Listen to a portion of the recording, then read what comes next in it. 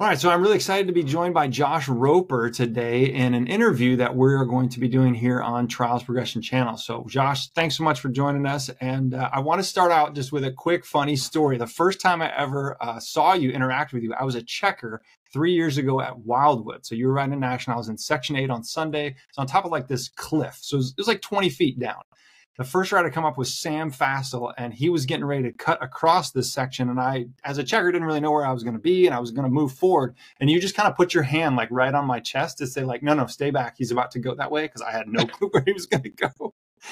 And so you put your hand right there, and I grabbed your hand. And we're on the edge of this cliff, and I didn't want to fall backwards. And I was just holding your hand for like a little too long, you know, and eventually you're just kind of like you like shook it off, like okay, checker, like go away. I'm ready That's to watch funny. the rest of the section. Was that Yes. in Ohio? Yeah, that was in Ohio Wildwood. Okay. Yeah. I so that was my first know- interaction with you, and uh, we've been, you know, in my mind, I just thought I got to hold Josh Roper's hand.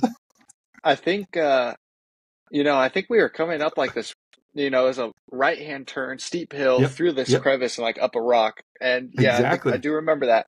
Yep. I do yeah, remember very that good section. memory. I had a 360 camera mounted on my head so I could record and hopefully uh, still pay Yeah. attention as a checker. So what an awesome experience. That was my first ever trial watching, but uh, Cool. Anyway, I'm really excited to, to talk with you. We just uh, released a creek riding video from our time at Trials Training Center, and uh, that was just a lot of fun. And I sure appreciate your willingness to to work with me in this channel and uh, help other people learn more about trials. Oh, definitely. Yeah, it's awesome to be on here and hopefully uh provide some good content for everybody and uh, I mean, essentially hopefully everybody gets better at trials by the end of the day. Yeah, right on, right on. So uh, we got to ride it at TTC, and while we were there, there were some hard enduro guys that were riding, and one of them came over, and I was uh, letting him try out my bike and explaining, "Hey, this is the number two guy in the United States. Check out what he's doing." I think you were hopping on the back wheel and stuff, and so we were just kind of explaining to that gentleman the benefit of trials for hard enduro riders. Uh, go ahead and, if you don't mind, talk to us a little bit about what you've seen as it relates to you know some time and and enduro cross and hard enduro and, and those skills that seem to be very um, much of a crossover. Can you talk to us a little bit about that? Yeah, definitely. I mean, take. I'm just going to start out by saying take all the top hard enduro riders now and look at their background, look where they came from. You know, Cody Webb, he came from a trials background. Billy Bolt, um, you know, there's the list goes on and on, but um, all of them come from that trials background. The trials just teaches you all that clutch throttle, body weight, uh, braking control all into one, and you can apply that to the big bike, and it makes it easier for, uh, you know, when you go out and do the hard enduros. So Yeah, for sure. So I, I thought it'd be interesting today to talk a little bit about your trials experience and also some of how you've started to dabble into the hard enduro world as well. Uh, so for you, as you were starting out as a, a young uh, rider, which came first? Was it a trials bike or a, a full size dirt bike? it's been trials my whole entire life. Well, Okay. I kind of take that back.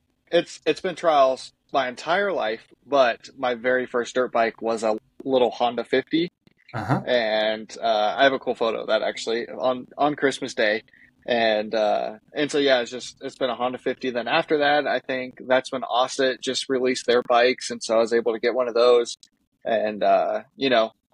The list goes on, like slowly progressing 50, 80, 125, and so on, whatever. I actually skipped 250 and went straight from 125 to 300. But, um, you know, very first bike actually was a dirt bike, but continued to ride trials on it. I rode the beginner line at our local club in uh, on the little Honda 50.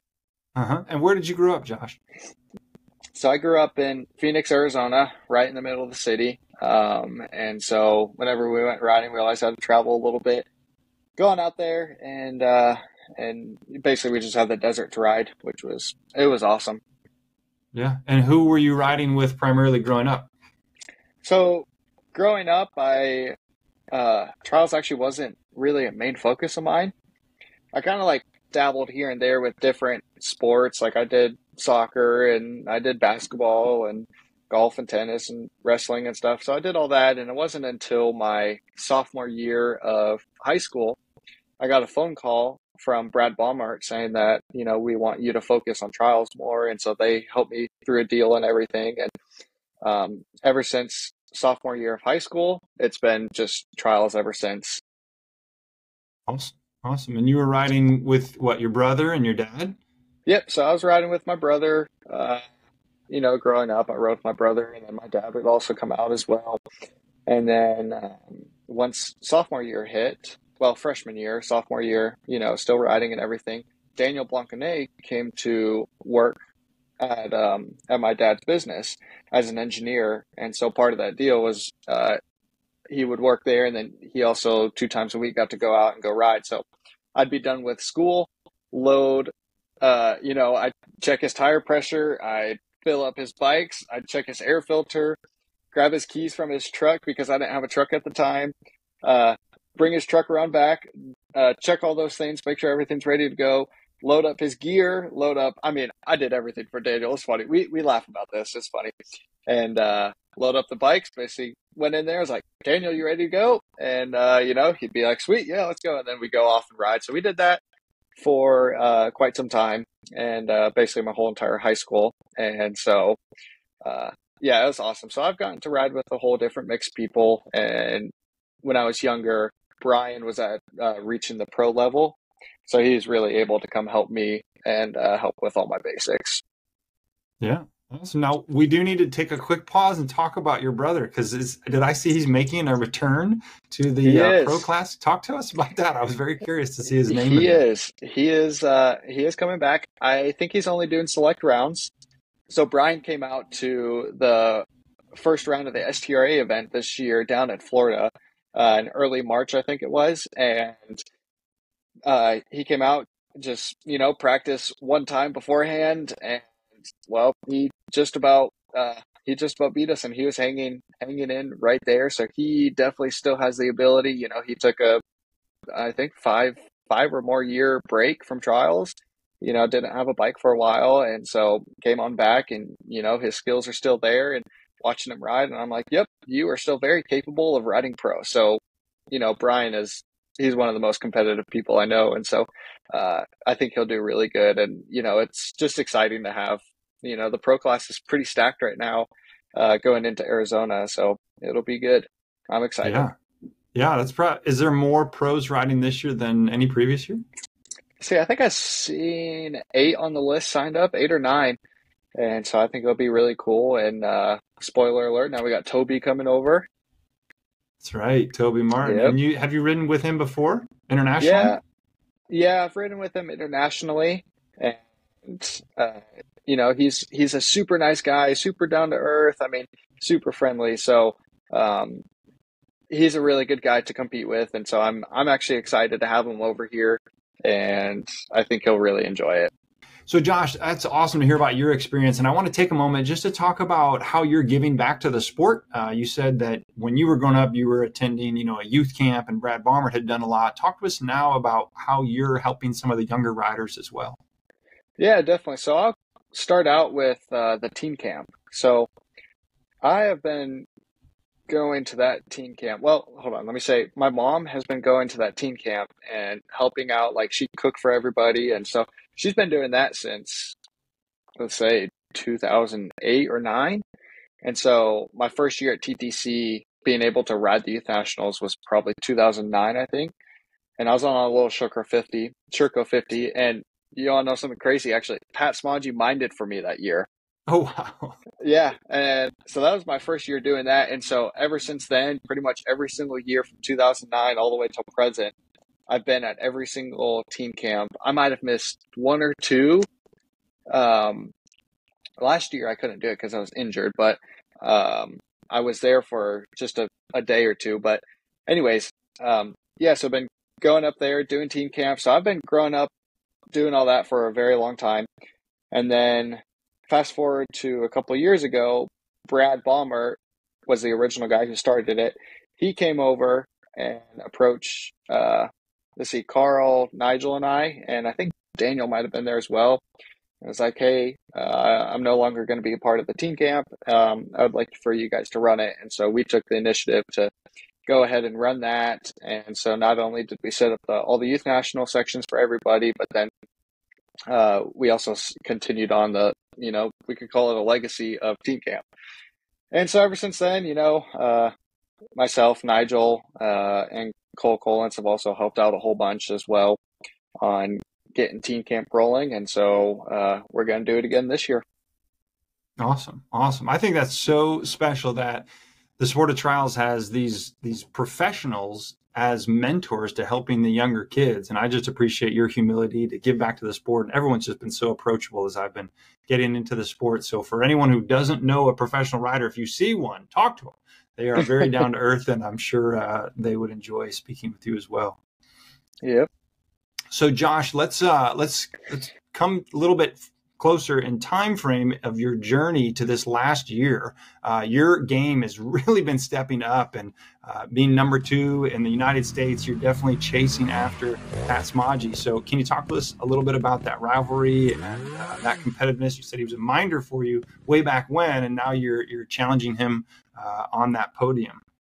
Yeah so i just want to start out by saying uh, you know pat is one of my closest friends that I've ever competed with. And so, you know, I look back at the history that we have together. And I actually remember a time when he came to my soccer games when uh, when I was a kid. So that was some that was something super special to have, you know, Pat Smage come and watch me play soccer. And so it was cool, you know, it was way back when. And then you fast forward to now and, you know, we're we're competing against each other now. And, and so it's actually a it's an honor to compete against him. He has so much success in the sport of trials and um, you know he is so good. He is a tough cookie to crack. So um, i enjoy competing against him. You know pat is a very humble guy and that's something that i really admire about him especially how much how many championships he has and stuff. And so it's really awesome to see that. And you know I, it, every time i get to compete against him it's just i have a smile on my face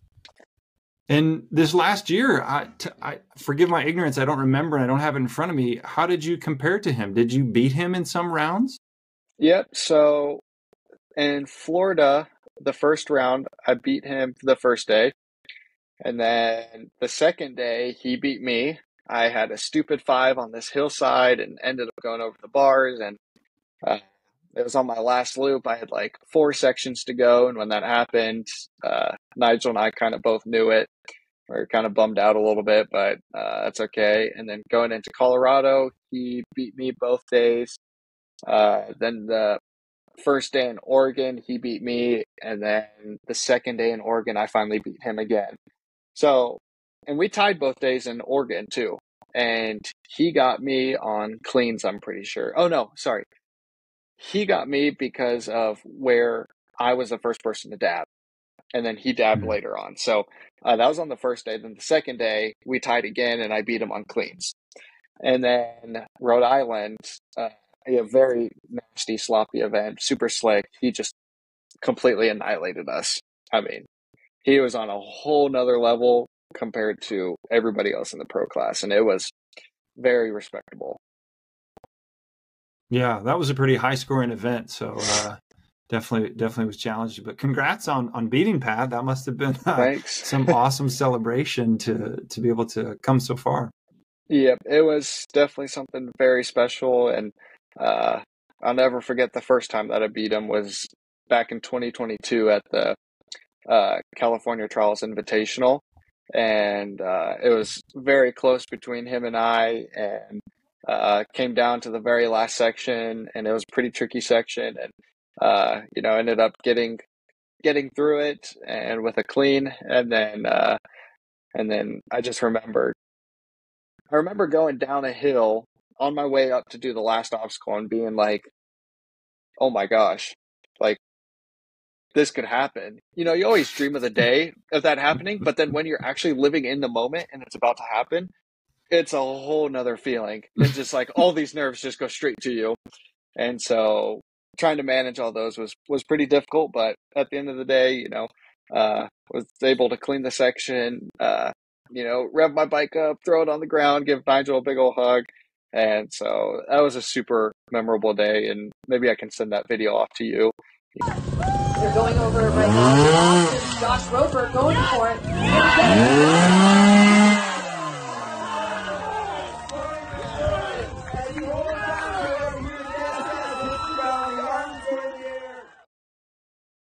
All right. So switching gears a little bit here, Josh, uh, you've been riding a big bike as well. Uh, for those in the viewing audience who might be considering riding uh, hard enduro, or maybe they ride trials to get better at hard enduro, I'd like to to switch gears here and uh, talk a little bit about that. So, how did you get into riding a, uh, a larger motorcycle? Yeah, so it was actually back in 2021. I purchased my first dirt bike, which was a Beta. Um, a little bit before that, throughout all throughout high school, I was working at a motorcycle shop, and we were primarily a Beta dealer. So I knew a lot. I know a lot about the Beta enduro bikes and and the trials bikes, and so fast forward about a year later, I finally purchased my own dirt bike, and it was just for fun, just enjoy it, uh, just to cruise around and everything. And then uh, it was super cool to ride that, and then eventually got rid of that. And it wasn't until I hopped on with Gas Gas and was able to ride a gas gas dirt bike. And so first year, kind of rode one here and there. Did uh, did like two rounds of the enduro cross, and that was pretty fun. Really enjoyed that. And then um, and you know, never really rode it or anything. And so uh, never rode it on a moto track. It was just for fun to go out and go do try something different. And then you know that goes on for another year or so. Then last year was kind of my my first time actually riding and kind of training on an enduro bike and i was training for the enduro cross season and um, and so yeah so i've just been riding the uh, the dirt bike and trying to get it ready and trying to get fit on the enduro bike because it's a whole different type of fitness you know? Enduro cross is by far the most tiring thing you'll ever do. One lap will have your heart rate from you know, resting heart rate to max 180 real quick and arm pump.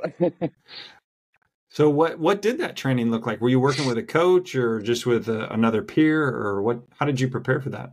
Yeah, so I was able to ride with some people down in Arizona, um, you know, Cooper Abbott and Max Gersten. And so I was able to ride with them on their enduro cross track and we just do simulate some races and do some intervals. So you do, I don't know, uh, two or three laps and then you sit for a little bit, then do two or three more, whatever. Um, and then over in California, I was able to ride with Cole. He was doing the enduro crosses as well, and so got to ride with Trystan, who actually won the enduro cross uh, series this past year. So that was pretty fun to ride with him, and um, you got to ride with Spencer Wilton and uh, Will Riordan and Ryder LeBlanc. So you got to ride with all these different riders, and um, it's just super cool to ride with them, watch what they're doing, studying what they're doing, and yeah, it was super enjoyable. And do you feel that a lot of the techniques carried right over, or was there things that you were like, oh gosh, I need to quickly learn such and such? So the thing that I found out is you got to be able to jump something in enduro cross. So that's my biggest thing. You know, us trials riders, we don't like to jump and especially like these sketchy log tire doubles in enduro cross are they're super sketchy. Uh, at least to me maybe not to other people but uh, you know i'm not a jumper uh, like this. I'd much rather hit a nice groomed perfectly you know dirt jump whatever. And so uh, being able to jump something in enduro cross will save you so much time. And as far as the technical ability like is able to go through the rocks and everything just fine, but it's all the in between bits that you got to go fast in. And so that's what I'm not used to. And being able to have that intensity for four minutes plus one or six minutes plus one, you know? Yeah. So what are your favorite parts about riding uh, a big bike? Um, well, surprisingly enough, the airtime. I hate the sketchy jumps, but I love the airtime. I love to jump mountain bikes, love to do all that, love to go to the moto track and jump, but jumping endurocross jumps is just something completely different. Um, but I just enjoy the reward at the end that you get after doing an endurocross race and doing well. The racing aspect is like nothing else. It's not like, you know, riding trials where it's just you in the section. You know, you're lining up against 12, 12 other riders and you're going head to head. I mean, you're banging bars, you're uh, all on the starting gate and you're getting trying to get the whole shot and um, it's it's fun. I love the the feeling that you get right before you're getting ready to start. Yeah, it seems like a massive adrenaline dump. It is. It is. So, Josh, you mentioned a lot of the the fitness and the intensity of endurocross, and I know even from Trials Training Center, I offered you a granola bar, and you were like reading the instructions to see how much sugar it had in it. So, I know that you're more conscientious of your nutrition than than I am, obviously, and to ride at that level that you do in trials and endurocross, I imagine you have to be. Do you mind telling us a little bit about uh, your nutrition habits and any exercise programs or lifting or what you do to to stay in shape? Yeah, definitely. Um, you know, I'll admit it right away.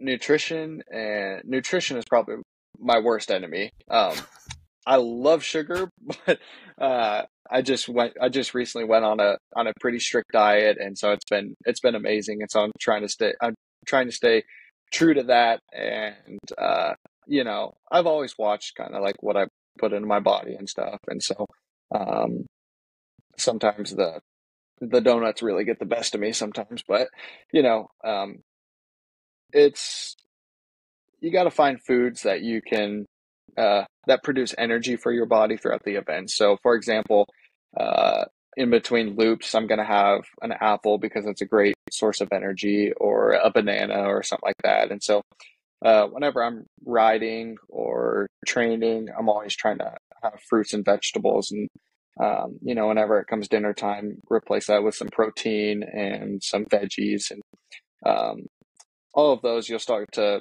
you'll start to feel a difference in your training, in your energy levels whenever you're riding. You know, uh, Jared Becker, he uh, he works at this gym that I was going to out in, in Phoenix. He owns it, and I'll never forget. He told me this. He goes, "If you couldn't eat it two thousand years ago, you probably shouldn't eat it now. Hmm. So all your fruits and vegetables and your meat and your chicken, whatever, you could eat that 2000 years ago. But, you know, you look at all these processed foods nowadays, everything that goes through a factory, like all that is not the best, not the healthiest for you. So try and think of that, trying to think of that in uh, that sense is if you could eat it back then, then uh, you should probably be eating it now. Yeah, I think that's a, a good, simple way of looking at it. So, what about exercise? Are you hitting the gym? Are you doing cardio? Is it mostly time on the bike, or how do you how do you stay fit? Yep. So I would go about 70 percent of it is spent on on the time with the bike because that's something you can't just go around. You can't skip that part. Um, not only that, but you also get every time you do spend time on the bike, you're getting exercise, you're building your uh, your cardio system, and um, then I'd say the other thirty percent goes to stretching or uh, putting the bicycle on the trainer or lifting weights. Um, I'm not. I haven't been lifting weights a whole bunch recently, but I've been on the on the bicycle trainer and and stretching and stuff. And so, uh, the more flexible you can be and the more time you have spent on the bike is is all around going to make you a better rider and you'll see it transfer over. I think I heard someone talking about the difference between the expert class and the pro class just being the size of the hits like the they're massive. I, I, I remember watching you guys drop off of rocks and go up rocks and it just seemed like if you're not having a tight core if you're not physically fit this is going to beat you down. You're not going to be able to last that many laps. So yeah. uh, I, I think i imagine that how physically fit you have to be going from one level to the next is is extreme. Yep. So it's you the biggest thing is like practicing intervals right? So even though your your whole entire well we'll just call it a workout your whole entire workout your eight hours of riding a whole entire trial you're going to have 32 intervals of a minute and a half. So if you can replicate a minute and a half intervals of going hard going fast for that long and then you can rest for a little bit. Do that 32 times and that's how you can help simulate a whole entire trial that's good. I actually had someone uh, asking briefly in the creek riding video any tips on reducing arm pump and also how to handle that. Uh, and I know you were stretching, and it was it was a lot going through that creek. Any advice on arm pump? Yeah, definitely. So I'll tell you this: uh, arm pump in endurocross is unlike anything else you'll ever feel uh, arm pump and trials is just a little different. I mean, I've been riding trials for so long. The more time you spend on the bike, the the arm pump will eventually go away and stuff. And so, uh, the biggest thing that you can you can do is if you start to get arm pump, you know, stretch out your fingers, stretch out each individual one, then all of them. Uh, kind of massage your forearm. You can use the end of the bar to massage your forearm a little bit, the bottom side and the top, and hopefully that'll help massage your muscles, allowing it to expand a little bit more. Well, thanks for that little tip.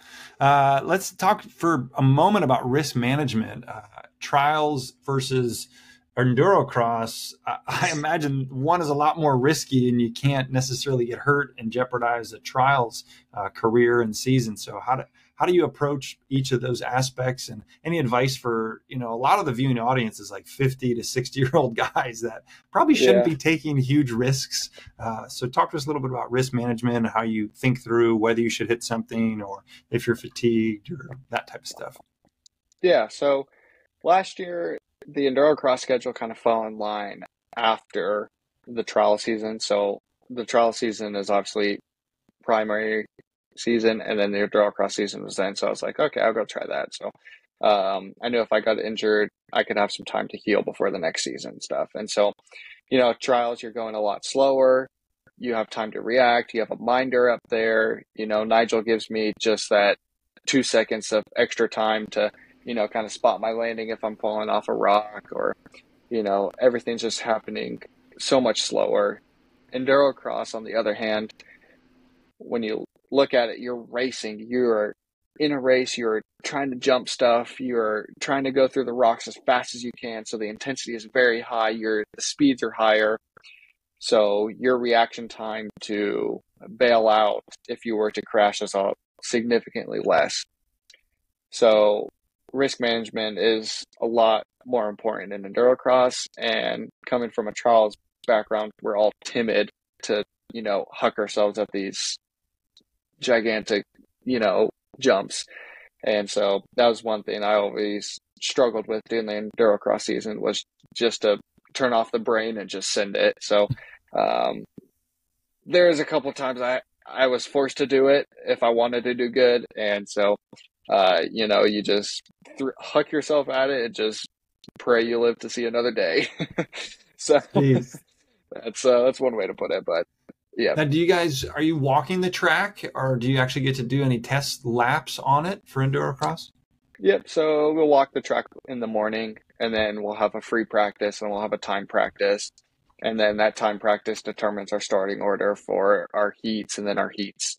If you if you do if you qualify in your heats, then you make it to the night show, and then there's one more free practice, and then the night show, and so you get you know a fair amount of time on the track. It doesn't feel like a whole lot when you actually race it, but you get a you get a pretty pretty decent amount to inspect and watch other people.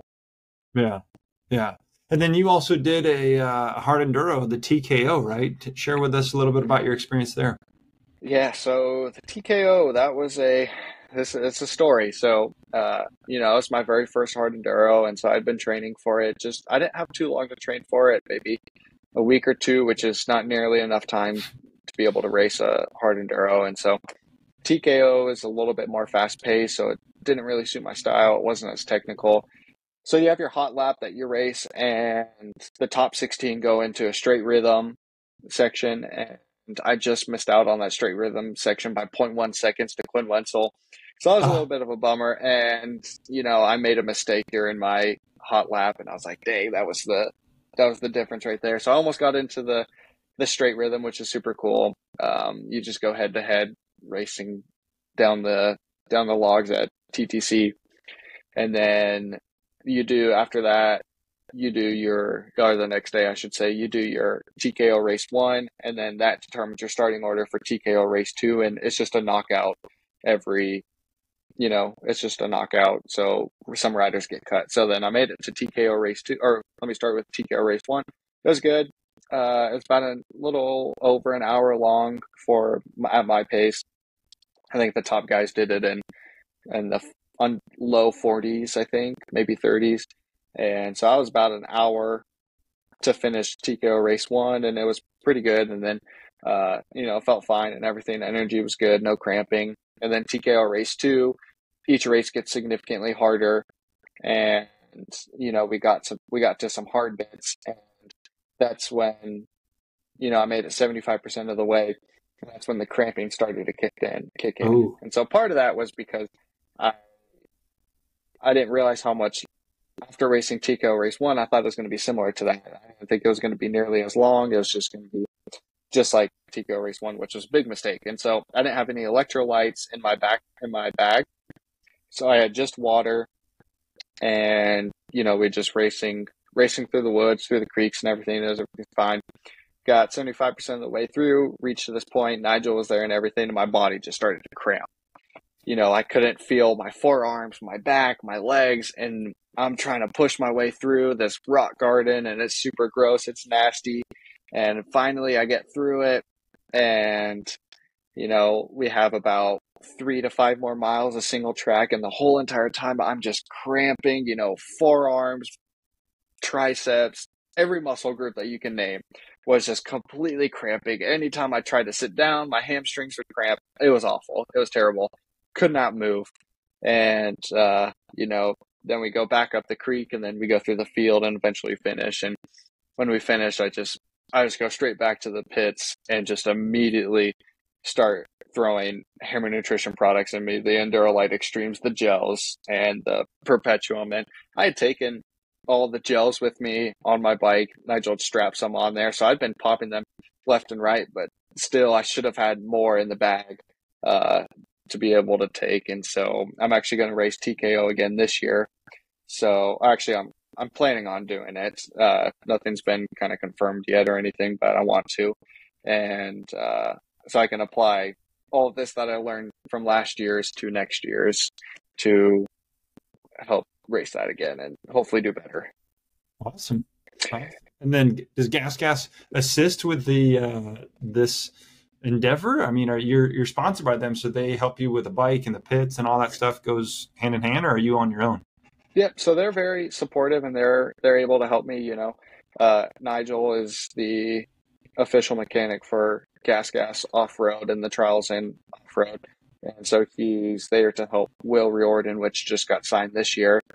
And so uh, when Nigel's not with him, he can kind of come off to, onto the side a little bit, help me up, help me out a little bit, and um, so it's great. So still very supportive and um, you know it's just racing. It's what we like to do. And I'm, I'm curious why do you think hard enduro is so much more popular than trials? It's it's uh it's ridiculous how much more money and time and energy and tv spots uh, hard enduro has. Any insight into why you think that is?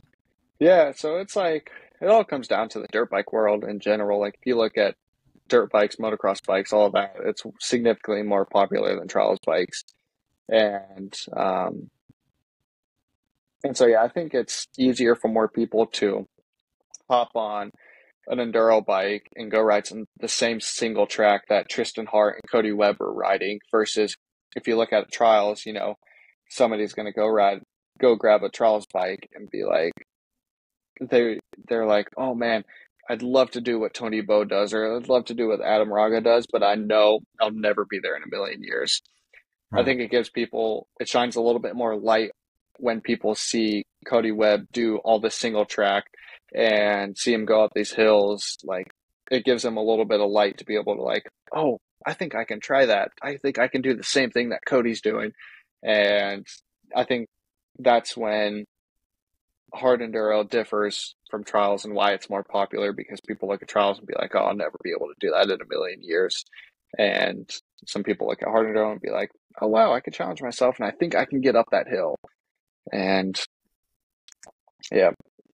Right. To the hard enduro rider, why should they try trials? What would you say to that particular person?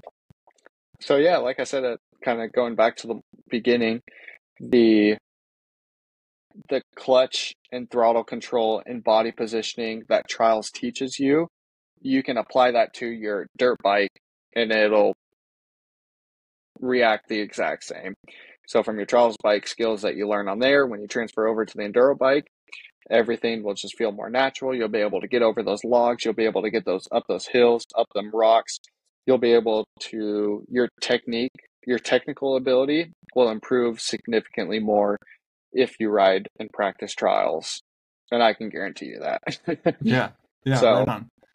Well, what about the other way around? Would you say that um, any of the trials crowd should try hard enduro? And if so, uh, you know, how does how does what advice would you have for them? Oh yeah, definitely.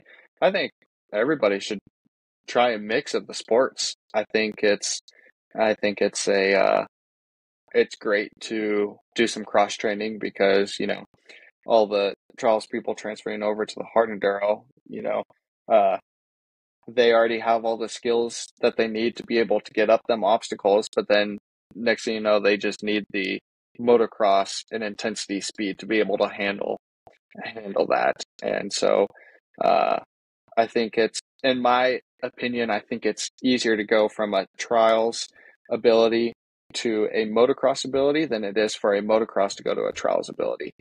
And just because trials trials teaches you so much about body control and clutch control and throttle control and I think there's a lot to be improved there. And so all the moto people wanting to try trials think of trials as like a improvement to help your big bikes because it will it will teach you all that. Yeah, right on. And I, I almost forgot you've done another thing on two wheels, the bicycle trials. I think I've seen some stuff uh, that you've posted, and didn't you even compete recently on a, on a bicycle as well? I did. So I did. I've done two two bicycle trials events now. And so those were super fun. The first one I did was in 2018, and actually Nigel was there for that event as well. And actually, I think he beat me at that event too. Um, and so Nigel's really, really good on Trials bicycle, by the way. And so yeah, it was super fun. You know, Trials bicycle really teaches you precision on hopping because the tires are so small. Everything has to be so fine. And so it's a lot of hopping, it's a lot of power. So being able to jump up something on a bicycle uh, correlates to jumping up something on a motorcycle. Anything a trials bicycle does, it'll just simulate what a motorcycle does. Just when you have a motor, it makes it a little bit easier versus your legs. You know, riding trials bicycle, your legs get stronger pedaling the bike. Uh, with stronger legs, you can jump higher. And when you jump higher on a motorcycle, you can make it up bigger obstacles. So they all go hand in hand. So if I were to really suggest something to somebody, it was to say, get a trials bicycle and practice your hopping, practice your balance, practice uh, your power. It will it will help you. Well, Josh, I sure appreciate your time. Anything else to uh, share with the trials progression crowd as it relates to moto trials or anything else? Yeah. Uh, anybody looking out there to get a trials bike, you know, uh, I'm serious. Get it and learn your basics. Take a Ryan Young class or come out to next year's Trials Training Center. Uh, yep. Yeah, Ryan yep. Young Trials School. Uh, sign up for one of his classes. Ryan is an amazing teacher. He has taught me everything I need to know about trials, and he still has so much to teach me. I just went out with him, you know, about a month ago, and uh, you know, he's a fabulous teacher and learning so much. And so, really recommend getting a trials bike. You know, like I said, learn your basics, learn everything. And any moto guy coming into trials, uh, don't be afraid. Like, come talk to us trials people. We are always open. We are always uh, wanting to help people, get people involved. And so, if you search on Facebook or the internet, I'm sure there's a local club towards you and um, somebody will be more than happy to help you out. Awesome. Well, Josh, I sure appreciate your time. Thanks so much. Yeah, thank you so much.